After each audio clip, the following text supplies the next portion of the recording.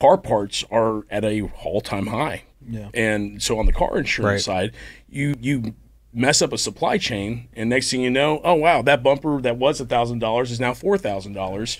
That window, I mean, they're putting all this cool stuff in these windshields, and they're now several thousand dollars Yeah. for a windshield when it was two hundred bucks. It's like three years yeah, ago, yeah, you know what I mean. So it's just, I, I mean, everything just a fender bender that should have been under a deductible amount three years ago, f- five years ago, is now a five thousand dollar Right. accident. Right. You know, and and you're just when that stuff happens, these companies don't make money. And I, I hate to break it to everybody, but they're not nonprofits. The whole point of the insurance is to make money. And when they don't make money year over year, they're going to raise, Raise rate, rate. or they're going to leave an area. What was Right. that that SNL skit from back in the day? It was it was a bunch of bankers um, saying we've got to change the way we do business. And uh, so when someone comes in with the dollar and they want ten dimes, we're going to give it to them.